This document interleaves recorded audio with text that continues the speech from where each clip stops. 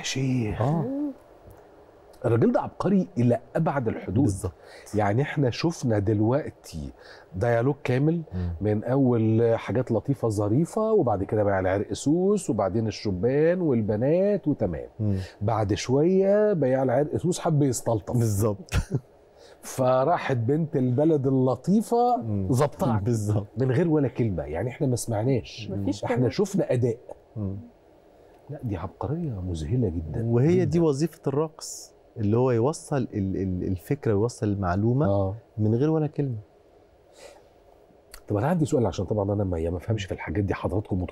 هو ده اللي بيتسمى رقص تعبيري؟ يعني أنا بعبر عن شيء بمجرد الحركات والأداء؟ لا هو الرقص التعبيري ده أنا م... ده ماليش فيه. لا بس يعني أنا آه. لكن دوت بيعبر عن بيئة بيعبر عن حالة. آه. لكن الخطوات اللي موجودة خطوات رقص رقص لكن هي. الرقص التعبيري ده أنا مش فاهمه عبارة عن إيه بالظبط؟ آه ولا أنا. لكن والله. لكن ده بيعبر عن الحالة. يعني دي أوكي. ست في خان الخليلي ماشية بتشتري احتياجاتها آه. وعايزة تشرب عرقسوس بدأ يعكسها وبعدين ادلق كمال العرقسوس على فستانها. كمان.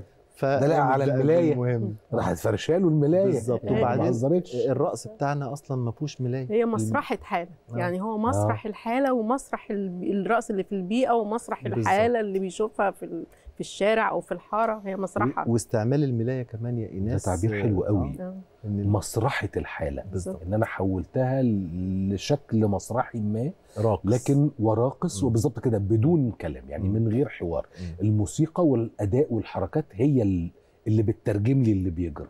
ووصلت لي رسالة جدا لا زلت مصر على أن أنا أفهم السر ورا عشان وإحنا بندردش حصل تغييرات مسار مذهلة عند دكتور إيناس. يعني قلت لي في الكونسرفتوار والبيانو وحاجات زي كده. فخدت قرار إن أنا هنضم لفرقة رضا وكمان هخش أكاديمية فنون مصر هخش مسرح. أيوه. احكي لي الحدوتة دي كويس والنبي لأنه دي حدوتة عجباني. هي أكاديمية الفنون هي الم... ال... ال... كل المعاهد دي في أكاديمية طبعاً. الفنون. فأنا بصراحة كنت عايزة أخش الباليه وأنا صغيرة. أوكي. فما دخلتش الباليه وماما قالت لي لا هتخشي الكونسرفاتوار مع أخوكي تعزفي وكده وعزفت وأنا بحب ال- الرقص. جميل. فأول ما لقيت الإعلان بتاع فريدة فهمي قلت لماما لا ما أنا بابا على فكرة كاتب يعني شاعر وكاتب عبد العزيز عبد الظاهر فيعني. ما رفضش الفكرة. ما شاء الله. فكان ليا حظ يعني شبه حظ مدام فريدة كده إن آه. ان يشجعوني يعني ما يقولوليش لا ما تروحيش وانت بتعزفي. ومالك ومال الرقص والكلام ده. فدخلت وطلعت الأولى في الاختبار بتاع مدام فريدة. الأولى. آه طلعت الأولى. طلعت الأولى و... و... و... وآخر أوبريت المحمود رضا كنت أنا البطلة كمان. يعني بعد سنين طويلة من أوكي. ال... من الدخول آه، آخر حاجة كان وبنتك موجودة دلوقتي. آه بنتي شاورتي لي قلت لي بنتي أهي. أيوه. بمنتهى الفخر. وأنا أنا أشاركك ده. طبعاً. أنا ليه كنت بسأل الحكاية دي؟ على مسألة إنه البني آدم لما بيحب حاجة هيعملها هيعملها. وبعدين هو هيجري ورا حلمه. وهيحقق ذاته فهيبقى متحقق. ودي حاجة مهمة جدا. لأنه و- و- وبرضو إحنا إحنا مش عايزين نخليها برضو قاعدة بقى بسأل هنا شوية بس إحنا آه. عايزين نقعد ندردش ندردش. زي ما إحنا كنا قاعدين بندردش من شوية. وبعدين أنا قعدت بقى أرغي معاكم وقعدت أحكي لكم بقى على. يعني ومشاكلي مع بنتي اللي مطلعة عيني فالمهم أنا بنتي ترقص باليه برضه ف... في الأوبرا بقى مم. فالمهم إنه ال... البني آدم لما بيجري ورا الحلم بيحققه بالظبط الفن مش رفاهية الفن مش ترف لا الفن شيء اساسي مم. في حياتنا. لازم يبقى موجود صح؟ أكيد. أكيد. تعالى بقى نتكلم في الكلام المكعبل حبتين والله بكلمك بجد. مم. هو ليه المدارس ما بتعلمش العيال كده؟ مش إحنا والله محتاجين ده. مش عارف. إحنا برضو في مجتمع شرقي بس آه، آه، يعني أنا نفسي يشوفوا بره إيه اللي حصل. يعني أنا بسافر آه، العالم كله. أنا ورثت ده من مين بقى من أستاذ محمود؟ مم. لأنه لما طلع معاش آه، أنا كمان كملت معاه بره أما طلع. وبقيت أساعده كنت المساعد بتاعه. وبعدين آه، بقيت أسافر يبعتني هو أماكن لغاية آه. ما اتعرفت. المدارس دي بتعمل مدارس رقص بره. صح. بيدرسوا الفلكلور المصري. بيدرسوا الفلكلور المصري وفي مد... في مدارس معينة بتدرس حاجة اسمها رضا style. ومدام فريدة ليها خطوات باسمها في الأرجنتين وفي البرازيل وفي المكسيك. أنا عايز أقول لحضرتك حاجة كمان مهمة جدا. أنا لسه راجع من البرازيل من شهر. ال- الولاد عاملين تاتو محمود رضا وهو بلبس العرقسوس والبنات حاطة فريدة فهمي الصورة الشهيرة بتاعت فريدة فهمي بالملاية. مدارس الرقص العالمية. الولاد بقى بتقول حضرتك في المدارس. أنا مش عارف هو الكلام ده الواحد يفرح بيه ولا يزعل. يعني أفرح إنه إحنا الفن بتاعنا.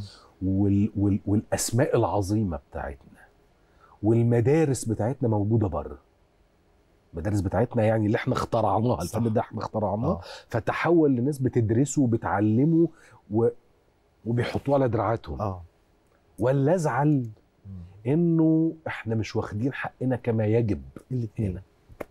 ازعل وافرح المضحكات المبكيات آه. بس آه، يعني أنا بالنسبة لي ك... ك يعني مكاني دلوقتي إن أنا كمديرة فرقة رضا مثلا آه، آه، حد جاب لي مرة حفلة وقال لي لا دي حفلة أصلها في الجامعة قلت لهم بس أنا عايزاها حفلة الجامعة وعايزاها عايز حفلة. المدرسة. آه آه، المفروض نروح الحاجات دي بيقولوا. لا أصل المكان بعيد قوي يا جماعة نروح الواحات ده. المطلوب بالعكس ده دورنا الأساس بالظبط ودور وزارة الثقافة وفرقة رضا ف- إيه صح. ده جميل. صح لغاية المكان نفسه وبعدين حضرتك بتقول المدارس. يعني أنا مرة كان عندي مسابقة آه، كانت في روسيا. أطفال. مم. فأطفال هي آه هيرقصوا ميعاد المسابقة 8 الصبح. فأنا بهزر بقول لهم "عند- أنتوا ما عندكوش مدارس هنا؟